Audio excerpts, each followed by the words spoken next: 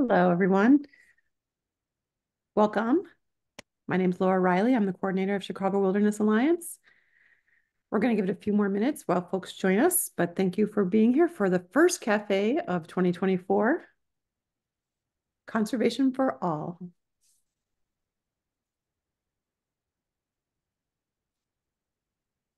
Didn't realize I had the distinction of being the first one for the year. That's exciting. It is.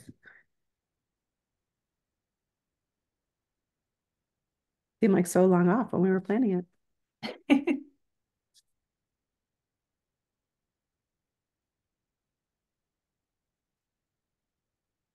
Jackie, I was excited to see McHenry County in there. nice. Here I am. Nice to see you. or hear you, I guess. I'm here.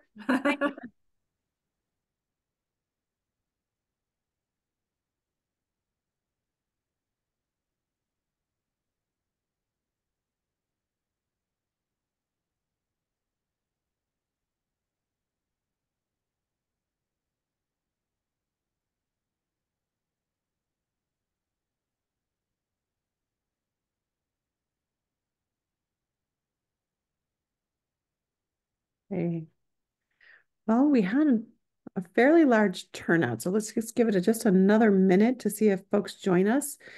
I'm going to ask you to keep yourselves on mute and your your uh, you can keep your cameras on or off, but we'll open this up. There'll be time for questions, and please feel free to put your your questions or comments in the chat. I will help monitor those for Jackie, and um, you know, before we get started, I just want to give thanks to our sponsors. Uh, we're supported by the U.S. Forest Service and the Illinois Department of Natural Resources, Urban and Community Forestry.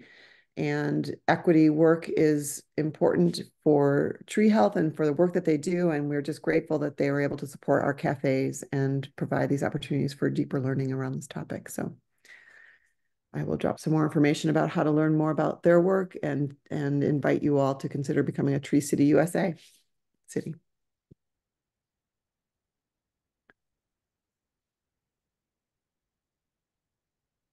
Okay, and I will continue to let folks in, Jackie. Um, I want to introduce Jackie Barrow from McHenry County Conservation District. She is a, a restoration ecologist there, and she has been really helpful to our JEDI working group team as well, and appreciate her time today. Great. Does that mean we're ready to go? I think we are, yes. All right. Hello, everybody. Welcome. I am uh, Jackie Bureau, the stewardship ecologist for McHenry County Conservation District. And what that means is I actually work with our volunteers, uh, kind of half office, half in the field. And really, honestly, I believe my purpose in life is to help people, but my passion is conservation. So you'll see that kind of come up as we talk about different projects today. Um, since 2020, I have been involved with our diversity, equity, and inclusion initiative at the district and uh, excited to share more about that. But just to start off, I do want to share the district's draft land acknowledgement statement. I want to note that this is not finalized. We're still incorporating some feedback from our reviewers and if you are interested in reviewing or know somebody who is interested in reviewing, contact Brenna Ness, who is kind of our lead person working on that. Um, we just want to recognize that McHenry County is grateful for uh, those folks who were caring for the land long before us and are still here today. That includes Ho-Chunk, Kickapoo, Mascoutin, Miami, Ojibwe, Ottawa, Potawatomi, Peoria, Sauk, Meskwaki, Sioux Nation, and many more that we may not yet have listed. Um, we want to recognize that these are really special places and that they have a history with Indigenous people, but also that most importantly, we'd like to build relationships with our Indigenous communities that are here today and learn more about our connection to the land together. To give you some context about McHenry County, if you're not familiar, we're located in northeastern Illinois, just south of the Wisconsin border, west of Lake County. We are kind of along this urban to rural gradient. So the southeast part of the county is a bit more suburban. And then the further north and the west that you go, we get more rural areas. So you have a nice mix of um, all different types of folks um, from all different kind of backgrounds. Um, we manage um, almost 26,000 acres of land, but we're by no means the only land management organization or um, group involved in conservation in the county. There's a lot of other private and uh, publicly owned groups too. But we're here because we really want to make, um, you could insert your organization here, uh, a leader in providing conservation for all people. Uh, a conservation that's truly accessible, equitable, and inclusive of everyone that we serve.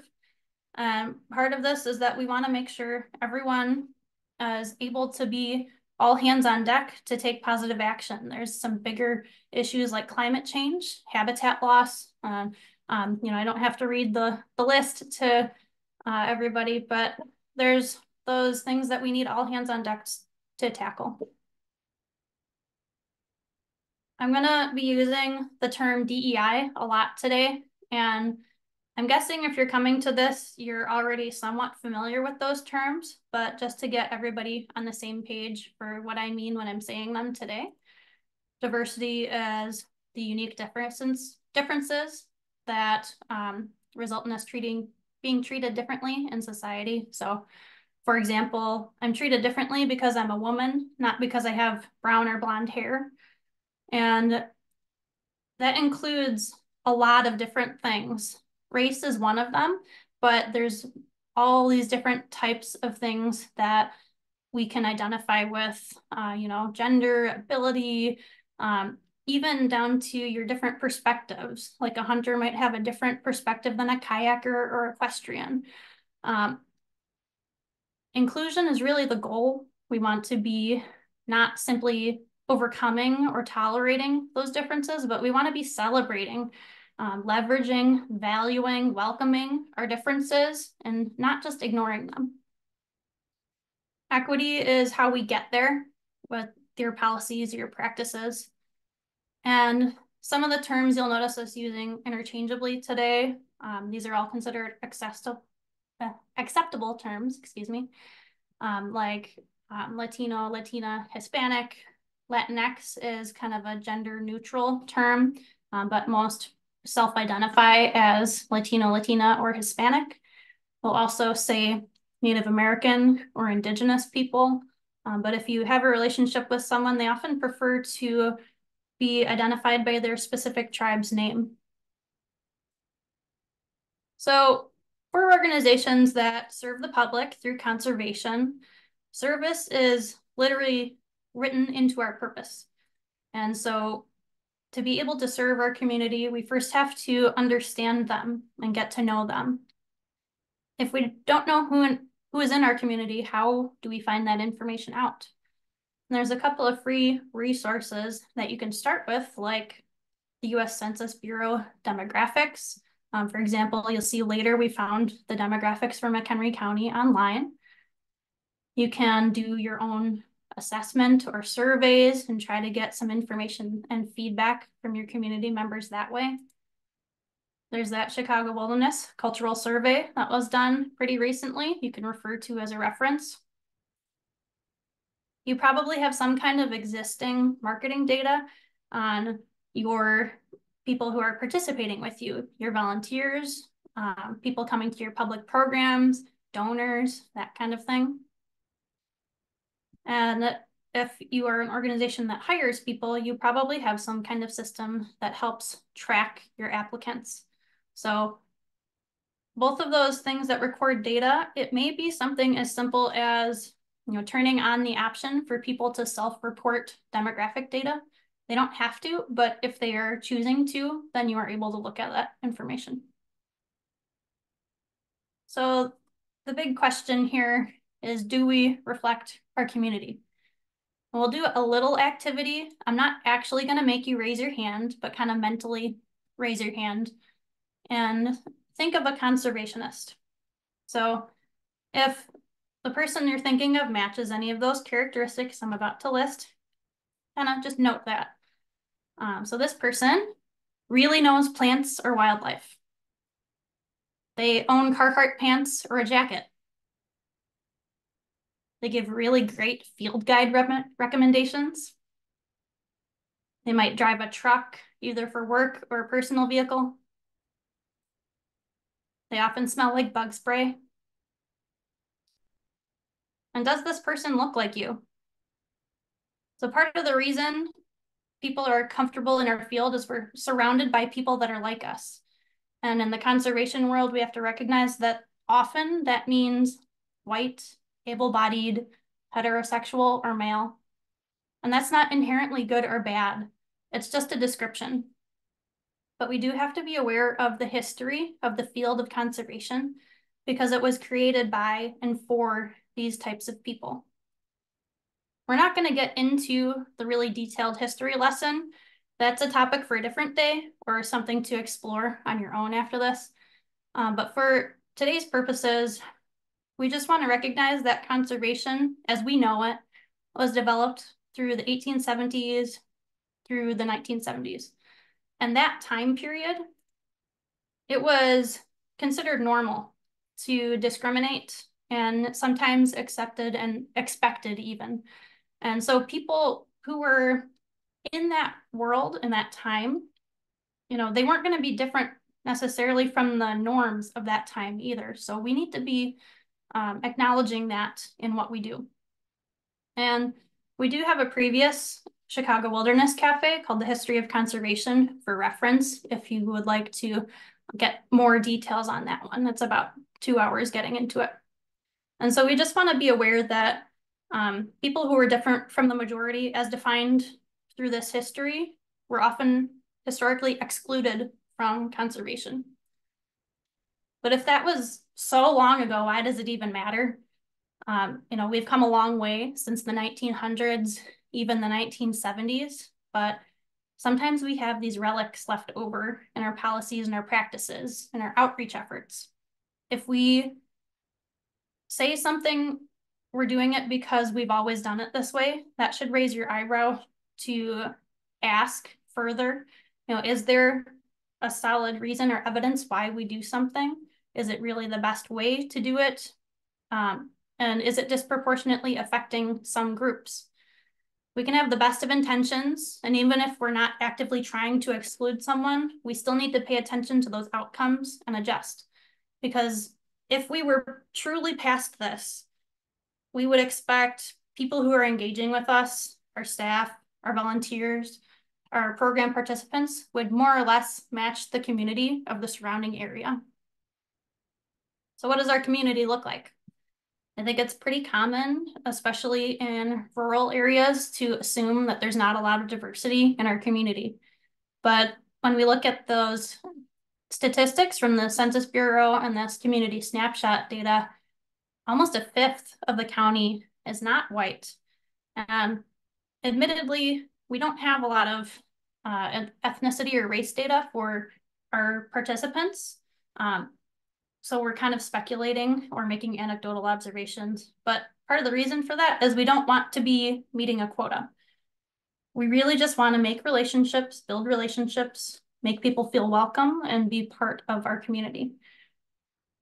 I think it is safe to say though, like a lot of conservation organizations, we don't seem to have quite this level of diversity engaging with us or participating in the programs that we're setting up.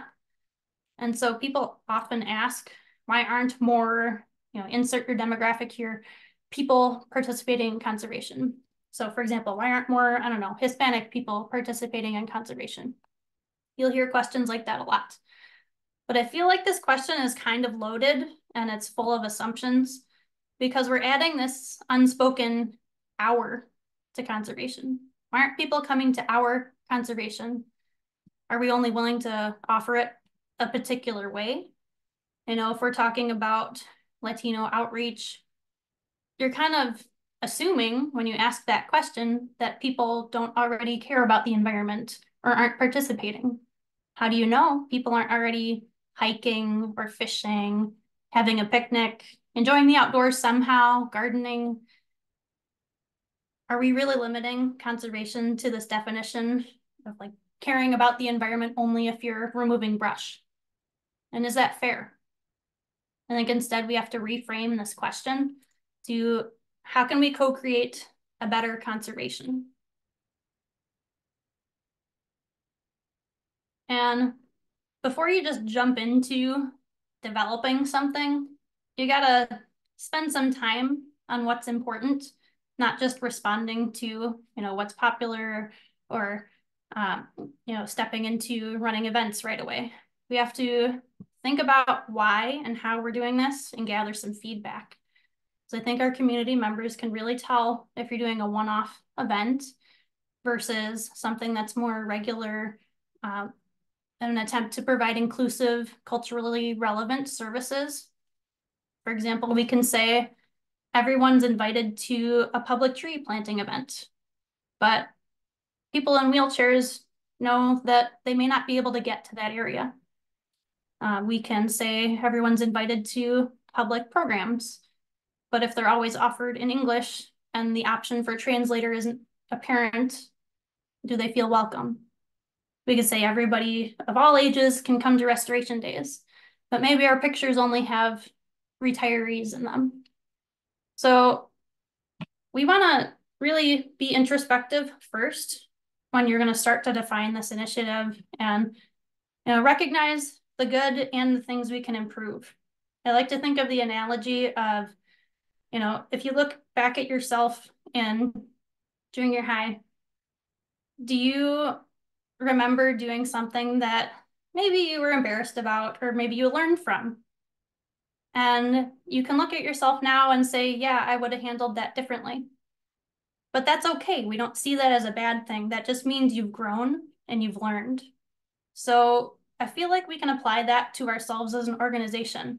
We're learning and we're growing and we're figuring out what to do next. And that's okay. We're not going to do everything perfectly.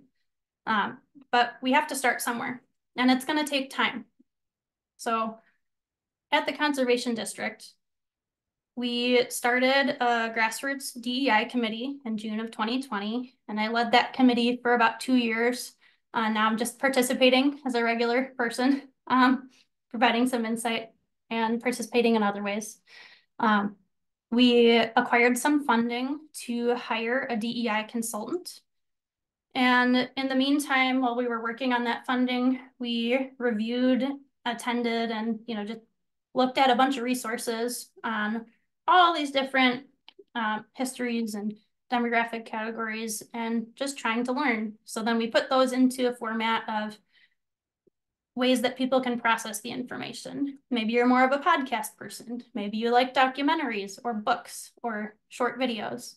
And we also separated it by the length of time that you have. If you only have five minutes, here's something you can look at versus here's something that's like two hours that you can really dig into. When we hired our DEI consultant, we worked with um, Dr. Sean Bailey and defined why DEI is important to us as an organization.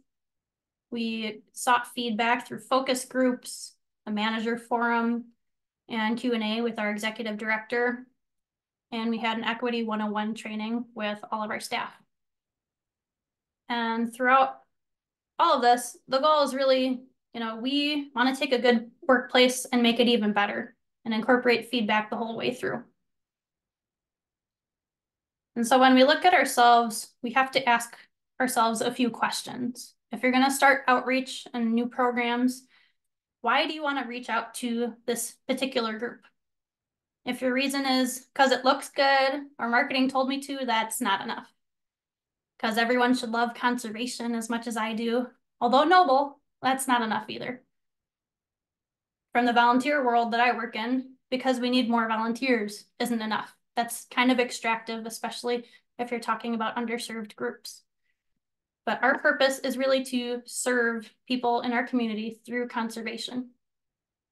Next thing we need to ask is what are your assumptions about that group? Are they really not participating in conservation or maybe they don't know about us and our opportunities? Are we always advertising in the same places, for example? And have we asked them what they want or need? We could ask or do a, a survey that people can participate or maybe look at existing research studies. But we can't just ask our Hispanic friend to speak for all Latinos. That's not fair. And I don't think that would be very well received. Um, and if we're offering something that doesn't actually serve the group, we have to be honest with ourselves and say, why are we pushing this on them? Maybe we try something else.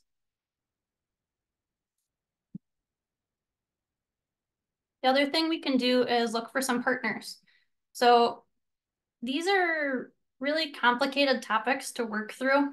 And sometimes you need a buddy or two or three, and you work through it together and ask each other the hard questions. Uh, but something that, you know, we've found as a challenge is you can't always be of the community that you're trying to reach.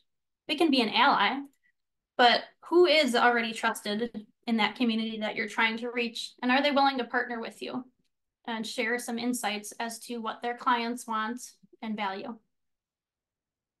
Is there anyone else too that maybe another conservation organization? I can think of, you know, 250 plus in Chicago Wilderness that might be interested um, in working on issues together with you. So working with your partners is a really great way to talk through those questions and ideas, help you come up with a better plan. You can share resources and build a network of people who want to work on the same thing with you. And the goal is building relationships. Partners like this really help you expand what you're able to do. And especially if you're a smaller organization that you don't have the, the time, the funding, or the ability to do everything, we can share the load together. So the meat and bones of this is, you know, examples that we've tried. Um, and I'm not an expert. We're not experts, but most likely neither are you. So what is your circle of influence? Because DEI is something everybody can do, and you can probably do more than you think. So as we go through these examples, know that DEI is not a one size fits all approach. What works for us might work for you, but it might not. You have to put in the work to get to know who is in your community. Keep going to trainings, especially on cultural competency. I don't know if you've ever met anyone who actually knows everything about everything. You might have met someone who thinks they know, but there's always more to learn. And especially you want to know the history of groups that you want to work with in your area so you can avoid some of those major mistakes and get some perspective on why something might work here but not there. And build in ways to use feedback. Everybody that you engage with offers some valuable insights and you know, if you are collecting that feedback, you can use that to support and provide data for why we should continue to do this thing or why we should get funding for this thing. And if it's not working, it gives you an idea of why and how you can improve it for next time, or if maybe you should try something else. And know that you're probably going to fail sometimes, but it's really important to not be paralyzed by that fear. And in my opinion, it's worse to do nothing than to try and experiment and see what works. So with that, I'm going to jump into some of the examples. Laura, are there any questions we want to ask at the moment, or should I just keep rolling through? I think you can keep going through. We are, I don't see any questions in the chat. Okay. All right, jumping into the first example. How do you make a tree planting more accessible? So accessibility is one of the major interests of most of our staff. And a few years ago, we got a question from a person who used a wheelchair asking, can I even get to a tree planting event? So what we did was brought a three minute disability sensitivity training video to an all staff meeting. And then we broke into small groups to talk about what we could possibly offer. How could we make this work? Uh, it wasn't just related to wheelchair access, but you know, signage, interpreters, um, you know, is there that curb effect of if you provide flat, more flat uh, surfaces, are there other people who could use it? And so we took those notes and took it to the DEI committee to implement. We reached out to our local special recreation association and tried to ask, you know, what's some ideas we can run past? Is this something that's actually of interest to the people that you work with? Um, we more so brainstormed with them and kind of ran ideas past them because the logistics were really daunting. We didn't even think of this as a possibility before. So it was really helpful to talk with them. We didn't co-host with them, but you know, that's something we could definitely consider in the future and might be worthwhile. Um, some of the logistics we thought through were like, where would you even do this? Um, how, uh, who needs to be involved? What do we have available already? And so we did pull it off the first time we did it as a separate event and uh, you know, the goal wasn't really to have it as a separate event, like to say, hey, we got to have these people over here and everyone else over here. Um, the goal is to just be able to incorporate it into an existing event. Um, that said, this was just kind of like an experiment to see if it was possible. So we did have several people come. Um, one person came in a wheelchair with a friend, and we had some adaptive tools. We laid out this snowmobile matting that is about 500 pounds for a 50 foot roll and is super heavy, but we were able to use that to flatten the ground. We had to pick a spot next to an ADA accessible parking lot eh, with a restroom and flatten out the entrance from the parking lot to the field where we went. Um, we had to recognize too, you know, everyone's in a wheelchair or needing flatter surfaces for a different reason. So we're not experts, but we can ask and learn. Uh, so the next time we tried it, we wanted to build it into our big tree planting event for the year, the October Big Woods planting. And we were able to do that and add an acorn planting section for folks who might uh, need different sensory or have different sensory needs. Um, we realized though the challenge with this was the snowmobile matting was super heavy and it's just not realistic to get it there every year. Um, that's a lot of staff time. You need a different machine to just hold it. Um, so we looked into and got funding for and purchased these panels called AccessTrax. They're temporary panels that you install and these places that are adjacent to an ADA accessible area, but you can put them on uh, grass or trails and get people out a little bit further. So with this, we hosted a couple of show and tell events. We set them up at different places, tried to gather feedback using our volunteers as a focus group and, you know, ask questions. Uh, we, throughout the process, also found that we had a lot of existing resources, like we had stroller and wheelchair accessible facilities on our websites. We suggested maybe we make that easier to find on our website. And we also helped to update the accessibility page on our website. Uh, so before it was a little bit more like, here's how you file a complaint. And now it's more focused on here's all of the options available to you and where you can find them. We noticed uh, or we had a existing program with our education staff for the NSR group as well coming up and we asked them, hey, can we set these up and see how folks like using them? And so this is actually the NSR group that came. We set up the panels at an all staff meeting to introduce it to staff. And what we realized too was it took a lot of time to set up. So we created a volunteer certification to have some volunteers be trained on how to set them up to help because expecting someone, a staff member who's already leading a program to spend an additional hour or two setting this up is not realistic. So we we figured out all of the the paperwork, so to speak, where are you going to store it? How is it going to be maintained? Who is tracking this training? Things like that. And we did offer the AccessTrax at our most recent Big Woods tree planting. So we're still working out some of the kinks of how do we make more people comfortable with using it at a program And how would people be able to request that at a program? Knowing that you can't always use it at every, every site. Um, switching topics a little bit. Go We ahead. actually a question from, um, from Laura Dirks. How did you get the word out about more readily available information about accessible events and trails? Um, we worked with our marketing team, uh, you know, through their usual channels, they'll celebrate things like, um, international, um, uh, days for people with disabilities, um, and say, here's some of our accessible trails. So they have like regular postings and ways that they share that information. Um, you know, we've made suggestions for other ways that we could share it too, uh, you know, put it in our landscapes magazine or, you know, I am in charge of our volunteers for restoration days. So, you know, I can just send that group an email and say, hey, come check this out.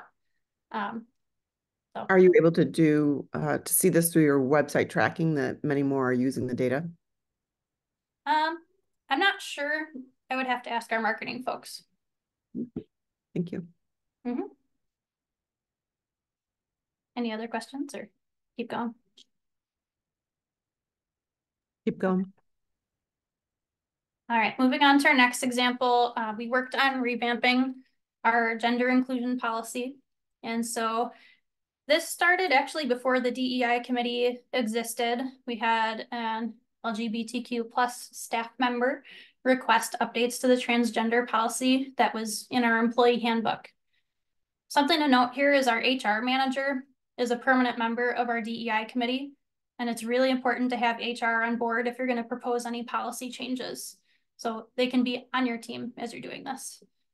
We started really by educating ourselves. Um, we revisited the issue a bit later, but we formed a subcommittee around this. And some of the folks on that committee did a presentation for us on gender identity, expression, orientation. If you've ever heard of the genderbread person, it's a really nice analogy for how to learn uh, all the different terms.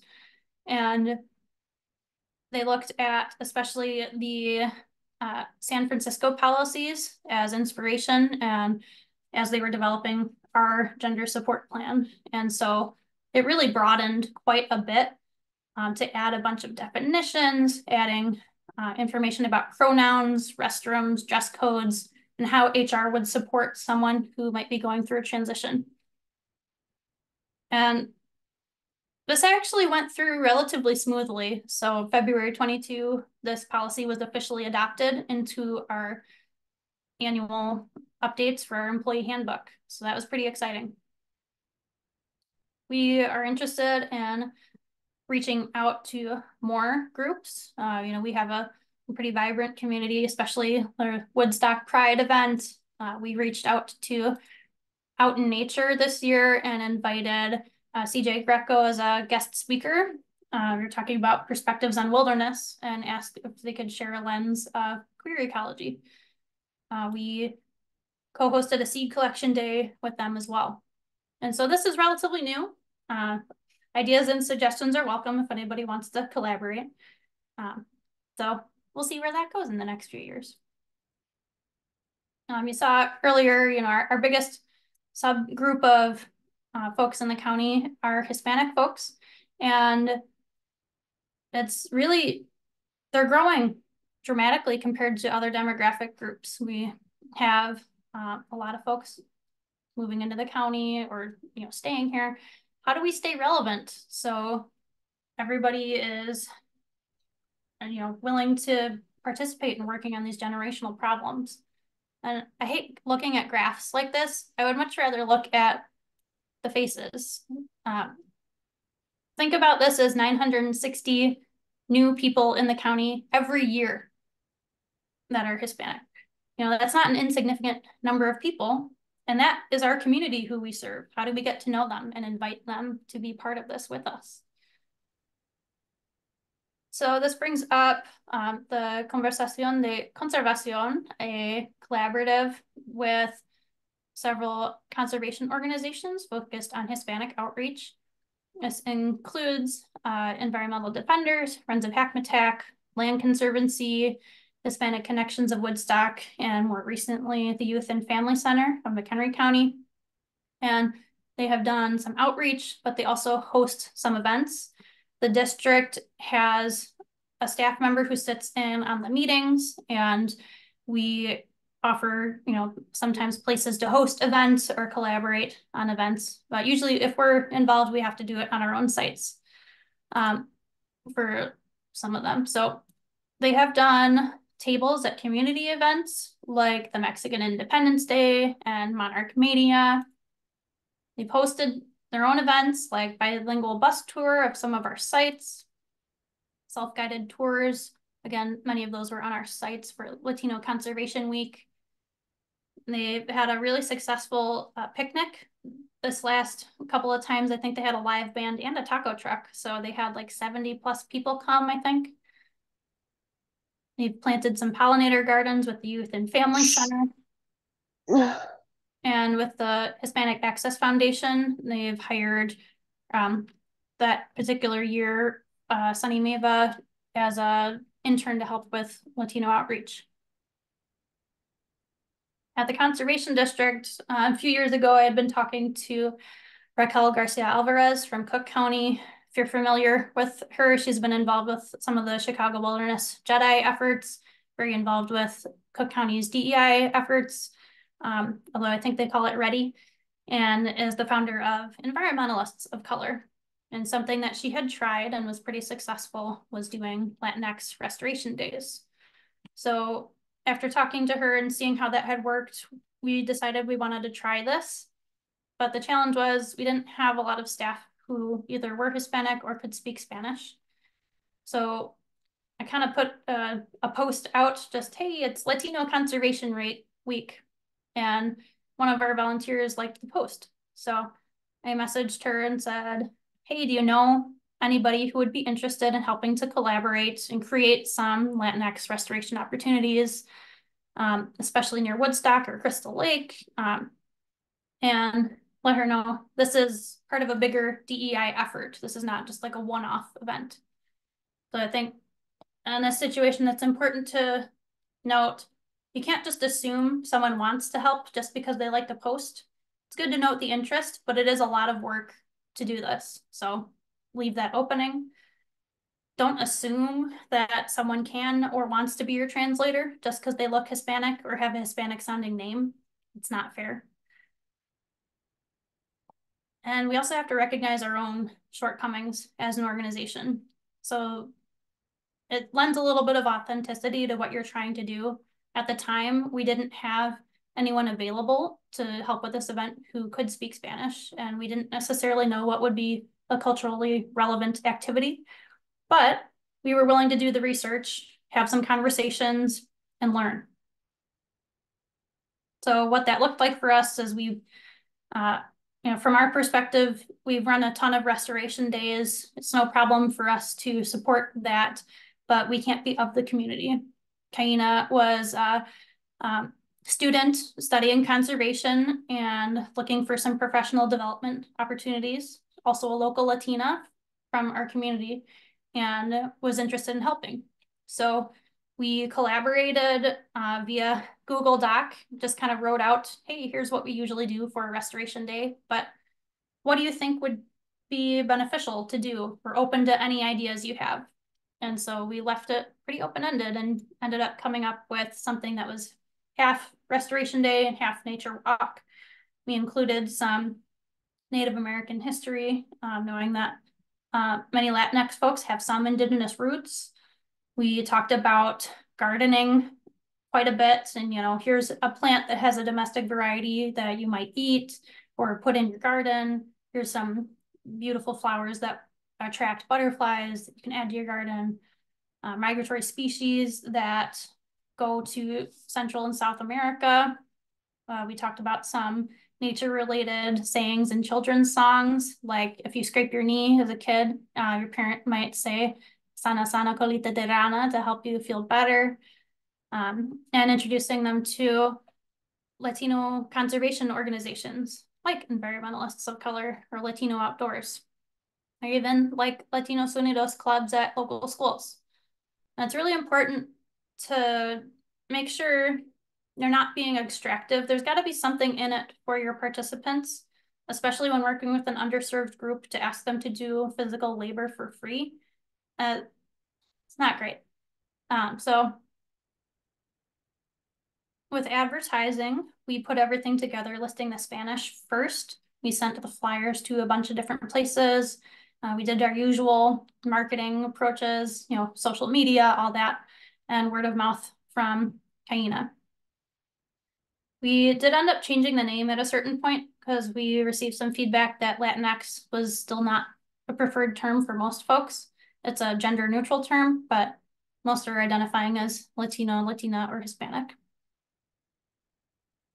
And our first day was pretty successful. We had 10 participants, which when you consider most of our restoration days are maybe three to five volunteers, is pretty good. And we noticed a lot of the group was friends and family of Kaina, so that um, personal connection is really important. We had a lot of positive feedback and people had fun. I had a lot of people say afterwards they returned to the site to walk their dogs or picnic or whatever, and potentially would be interested in doing it again.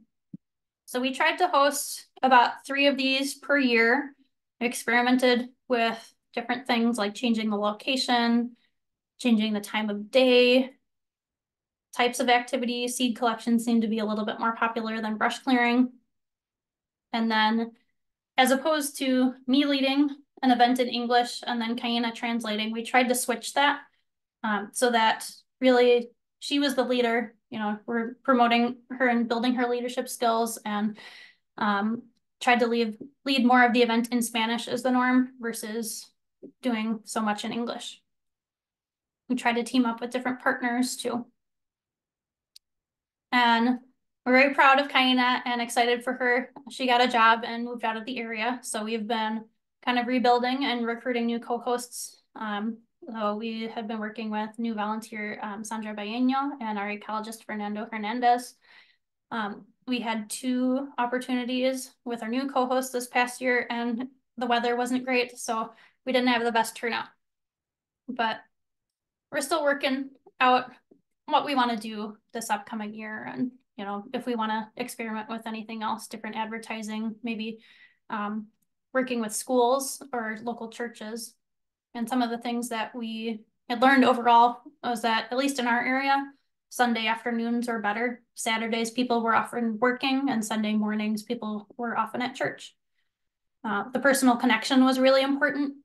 Most of our participants came from word of mouth almost nobody came because of the flyers or the emails sent to volunteers.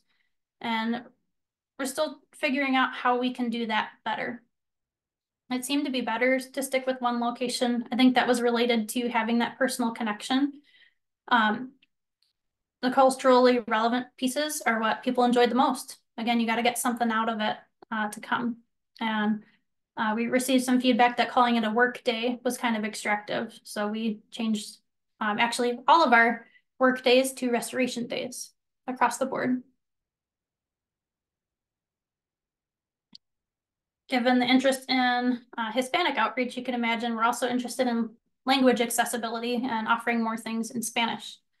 Um, if you haven't already heard, Cook County recently released a language access policy that recommended providing translation for any languages that are used by more than 1% of your population. And so we took a look at our own uh, area and we don't necessarily have a policy on this. I think language accessibility policies are kind of a new thing still.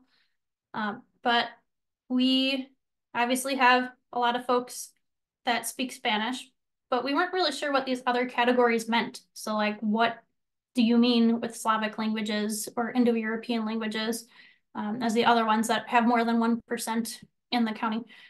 So anecdotally, we've heard feedback that there's a need for Polish translation and American Sign Language to be offered.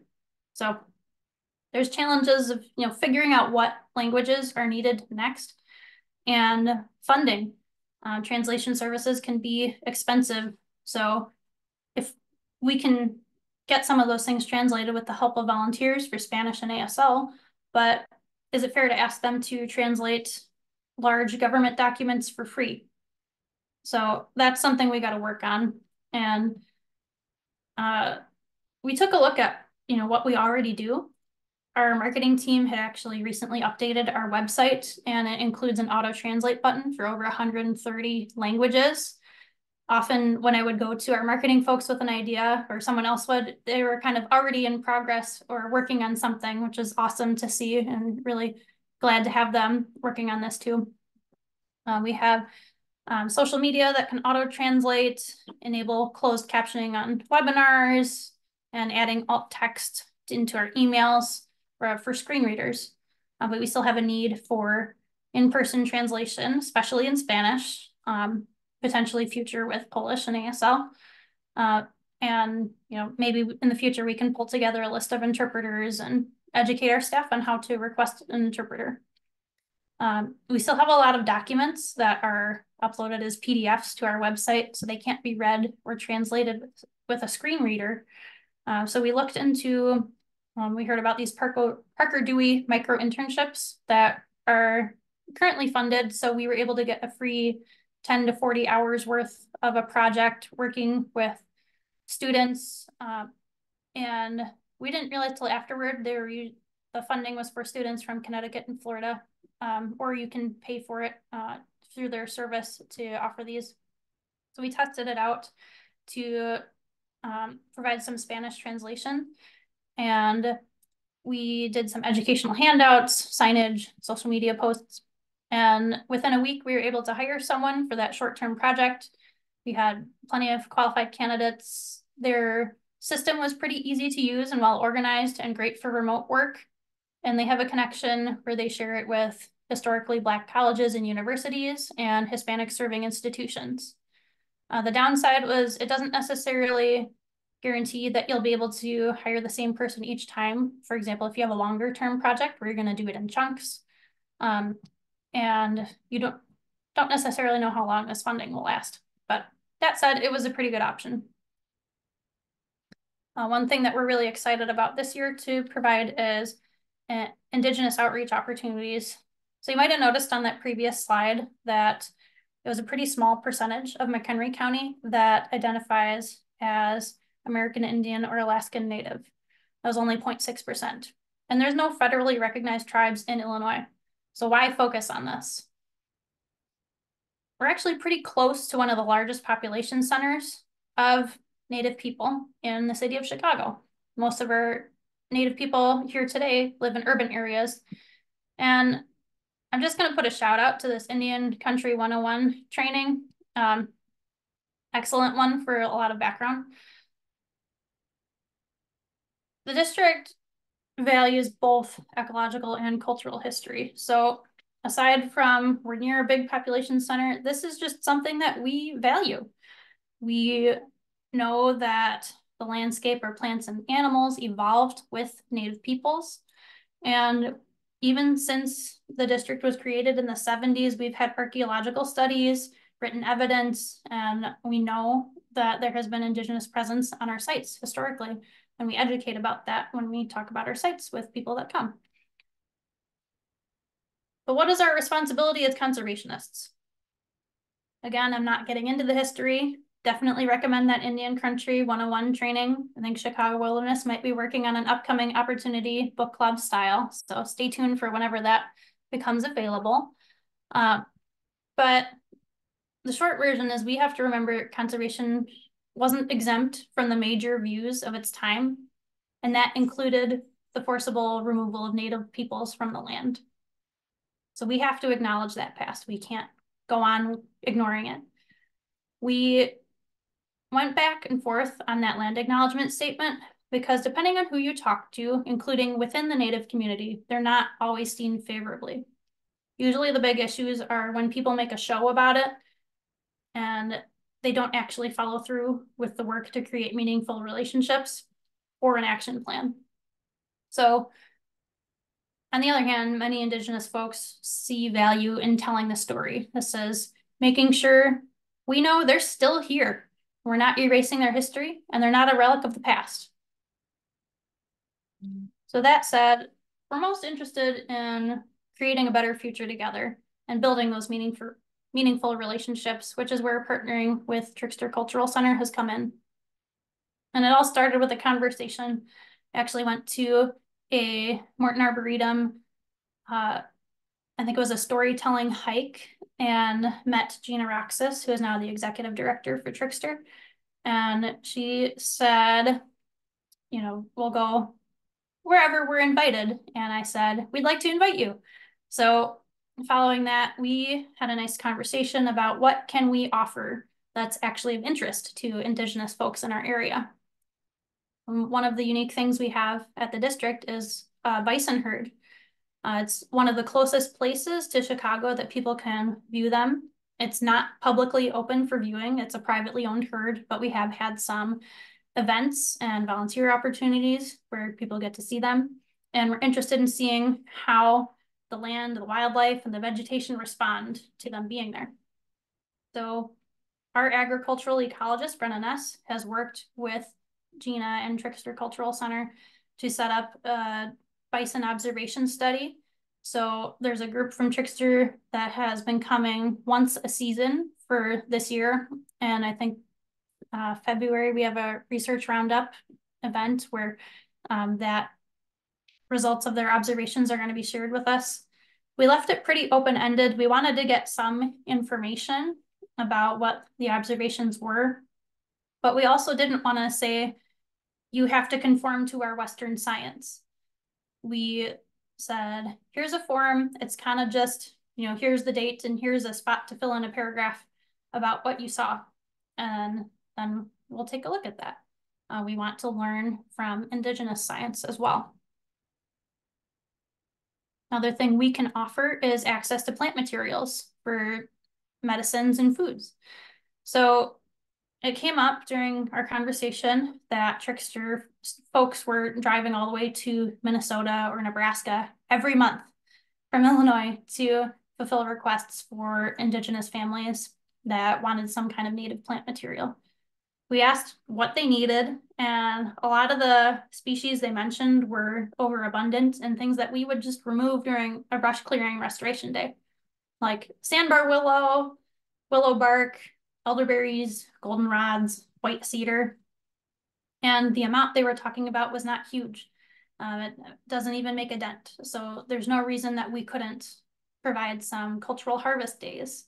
Um, you know, there's some red tape around, um, you know, we have to protect species from poaching or overuse. Uh, and so we want to be cognizant of that need from the land management organization perspective. But there's no reason we couldn't set up cultural harvest days. And so initially we started just inviting folks through Trickster, but we started inviting other Indigenous serving organizations as well. If you think of other organizations that you would like to be invited, just shoot me an email after this. And so far this year, we've hosted three cultural harvest days. Oh, my screen froze. There we go. We can also act offer access to our natural areas uh, to participate in uh, traditional ceremonies. So in 2022, we had a winter solstice ceremony with the Trickster staff at our Lost Valley Visitor Center. We didn't have a lot of turnout because it was super cold and driving conditions were, um, you know, typical winter. Coming from a long ways, it was a hard uh, time to get there but it was a really nice way to set intention for our partnership moving forward and see what we wanted to do for the upcoming year. So in 2023, uh, just this December, we hosted a public program called Welcome Winter Solstice with our Trickster partners. And this is actually a, a multicultural uh, celebration. So there's several tribes represented in the folks in that picture there. And they shared traditional singing, dancing, drumming, and storytelling. Uh, the people leading invited us to be part of a community dance and shared how you respectfully participate. We had craft stations, um, places where people could check out books by Native authors, um, and you could buy to support Native artists, jewelry, or other artwork. So that was a really cool, well-attended event. We sold out and had 50 people come to that one. So we're hopefully going to be able to do that again in the future. Something else we can offer is, especially if an idea is too big for us to handle alone, networking. We don't realize that as an ally, this is one of the biggest things that you can offer is who else is working on similar issues. And so one idea that was brought up was a native-led climate summit. And you know, they said we have an interest in this and helping our climate refugees, human and non-human. So how do we do that? Uh, you know, they said they didn't have the resources to set up the big event, but would love to be part of the planning. So we literally just introduced them to uh, the Chicago Wilderness group. And that's being worked on uh, probably a couple years to get that going. But, you know, we can make the introductions. The other question that we had is how do we share Indigenous perspectives with our folks, our staff, our volunteers, our public? And we co-hosted with our Trickster staff again uh, with singing and dancing and drumming the Weekend of Restoration event.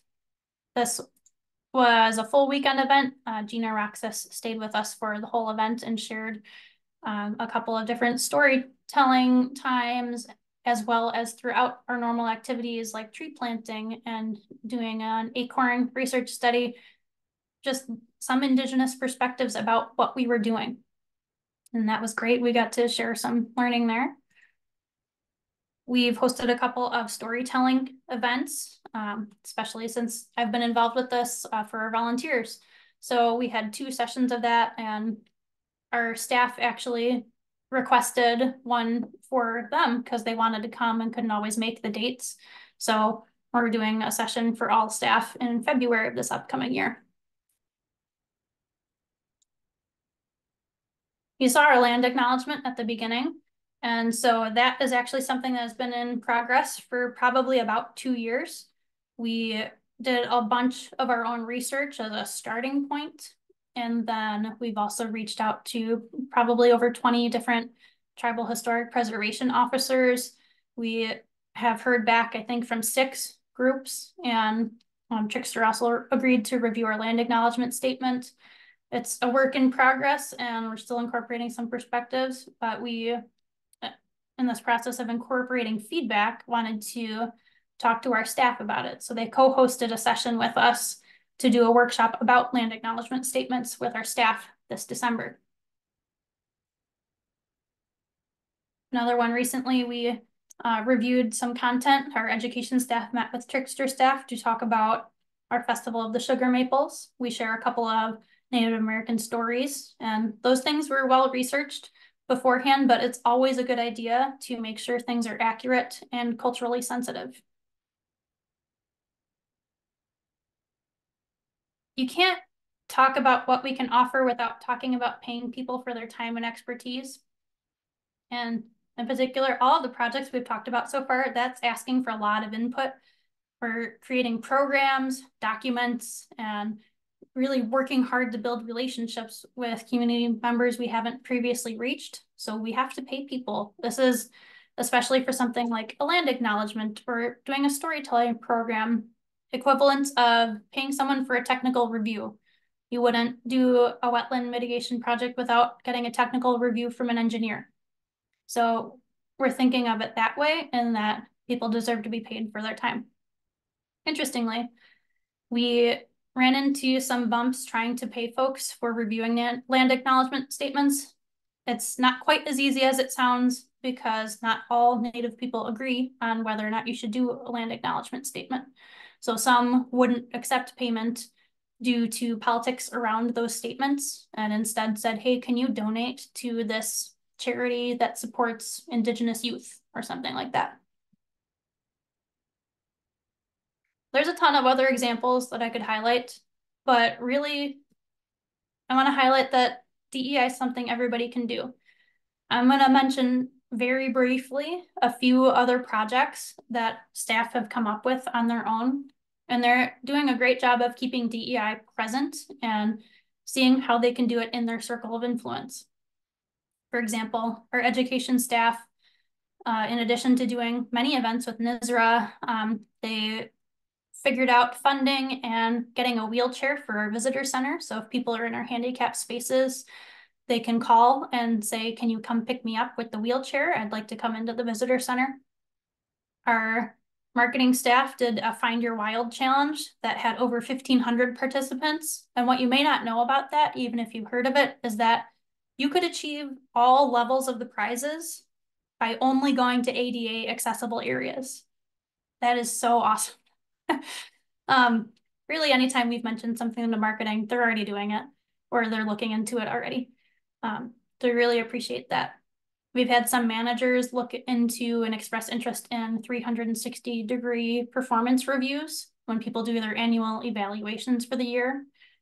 Our HR manager was looking into an updated applicant tracking system that removes bias or has features to reduce bias, like removing names. So you're only looking at the skills of people applying. We had a women's chainsaw training event. Our planning department had an ADA audit and are continually making updates and incorporating universal design into their new builds. We had some signage for Big Woods plant planting translated to Spanish this year. And anytime you talk to our rangers, they're seeing the public very, very often, and they always have lots of great ideas. So this is an endless list. It, this could keep going on and evolving. You know, we can just keep learning. So to recap, um, remember to include a bigger DEI effort, not just do a one-off event and spend that time on what's really important, including reflecting on what your own assumptions might be. Everybody has assumptions about everything. It's just important to take a step back and think about them. Incorporate from the beginning a structure so you can seek feedback and respond to it in a respectful way, of course. And don't focus on trying to meet a quota. I feel like that seems obvious, but uh, your focus should really be on building meaningful relationships and making people feel welcome. Something we learned with the marketing of this, which, you know, caveat, I'm not a marketing person. Uh, when we are advertising for things and we don't show pictures that if somebody looks at it and they say, nobody looks like me, they might not be comfortable coming. So something that you can do to help with that is take pictures at all of your events. Your marketing team probably wants them anyways, but I bet you have diversity in your group of age, gender, you know, perspectives. There's a lot of other things besides just race to consider. Don't make somebody who does show up from that group you're trying to reach the poster child for diversity and don't reuse that picture over and over and over and over again. That doesn't look good either. If you don't have a lot of content yet, you can share posts from partners who are celebrating diversity, you know, like Black Birders Week, um, Latino Outdoors. Um, there's lots of things out there um, that, you know, you can find endless lists of these things. And you can tell some of those stories that haven't been told in conservation and incorporate that into your programming. Maybe you have a site with some history. Uh, maybe you just go with, as a starter, you know, that book on Harriet Tubman being an unsung naturalist. There's plenty of resources out there if you do some research. There's not really a, a right number of times to do things, but you do need to make an effort to do regular events that build trust. Know, as a small agency, especially, it can be hard to um, find the budget or to hire somebody or to set up a wheelchair accessible event every single time. We know that might not be realistic, but the feedback that we've heard is people in the community want to see a regular effort to include them. Not something that they have to request, but it's just built into the program already. And you know, a lot of our decisions on how many times to do this were honestly based on what was feasible. You know, we had three Latinx restoration days, and that was partially my time for how many weekends I could accommodate in addition to other projects and priorities. We had one tree planting event that was wheelchair accessible out of eight tree planting events in one year, and we chose to make that the bigger public one. So there are many other options for things that you could do. And of course, we talked about a lot of partnerships throughout this. So it's not a one size fits all. You're going to have to experiment and, you know, work with people in your community who want to work on it with you. So with that, I do want to thank our DEI committee. There's uh, seven to eight of us on at any particular time. Uh, also, Brenna Ness, Pete Jackson, and Kaina Gonzalez helped in preparing this presentation. And with that, I'll take any questions. Thank you all for listening. Thank you so much, Jackie. That was really, really informative. There have been some questions, and I want to go back to where we were talking about accessibility of language. And um, some folks had some really good questions about how um, how the um, what type of document can be read by a screen reader. Do you know that answer?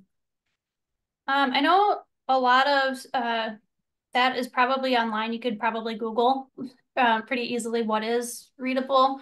I don't think the, you know, if you have a PDF, some of them, it will allow you to select and edit the text. I would think that those are able to be read by a screen reader, but the ones especially that are, you know, older scans, it doesn't pick up editable text on that would not be. Um, so I would Google it. I don't know the exact answer, but that's my best guess. That's good. Do you know how accurate the Google Translate or the translator is on your screen reader? Um, I haven't combined screen readers and Google Translate, for example. Um, individually, if you're trying to throw something into Google Translate, sometimes it gets the names or the verbs incorrect. Um, so you always want to have a real person double check it. It can be a starting place. Or for example, when I put out that post about Latino Conservation Week, just trying to see if anybody was interested, I only did a couple of words that I was pretty sure were accurate. Um, some of your social media posts may automatically translate for you. So something to look into. But if you have somebody uh, that can help translate or double check, that's the best solution. Okay. Um, there's a message here from from Sarah at Bluestem Ecological Services. She said, we've seen a growing interest in foraging. While I recognize that foraging on district property is not allowed, I'd love to connect with someone for edible plant ID walks that knows some of the common names of plants that grow from Central America through our region. For example, rose mallow, hibiscus, uh, is Jamaica, ha, ha, Jamaica, Jamaica in Mexico and used to make tea. Mm -hmm. Um, that might be a really interesting connection to ask folks maybe at the Morton Arboretum or your local, um, the, the U of I Master Naturalists or Master Gardeners programs. Um, we do walk that line of if we run an event where we show people where foraging is an option, we show people a plant that opens up the possibility of people coming to collect and overuse that particular spot. So we're trying to balance the need of being protective of those species while, you know, there is an interest in that. Um, but it's usually not the person that comes to your class that's the issue. It's they post a picture, it gets shared on social media, somebody else sees it, and then a billion people come to that same spot and do it. We see the same thing with birds, for example, if bird sightings in particular locations are shared, they can be disturbed by the amount of people that come to see them. So that's something to be cognizant of if you try to set up any kind of foraging. But I would bet that there are probably programs out there that maybe manage gardens and you could talk to them about collaborating. Thank you. Um, if anyone else has a question, um, feel free to unmute and and ask Jackie. Uh, we can stick around for a few more minutes. Otherwise, if you need to go, I think this is the end of our formal presentation, correct? I'm going to stop the recording now. But